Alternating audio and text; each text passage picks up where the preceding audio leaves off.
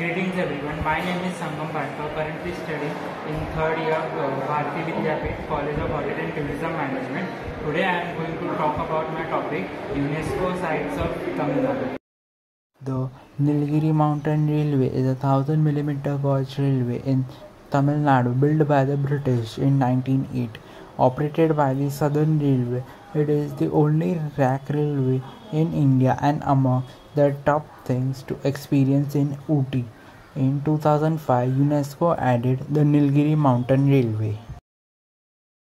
Situated just 60 km away from Chennai, Mahabalipuram or Mamallapuram is the one of the major heritage sites in Tamil Nadu.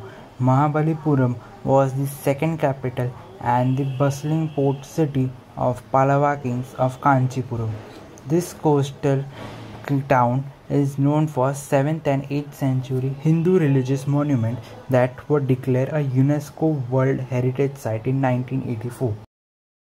Built during the rule of the Chola Empire, the Great Living Chola Temple are a group of three temples situated in the southern part of India. The three temples are at Brihadeshwar Temple at Tanjore, the Temple of Gangaikonda Cholapuram and the Airavatesvara Temple at Darasuram, built during the 11th and 12th century by the king of Chola dynasty.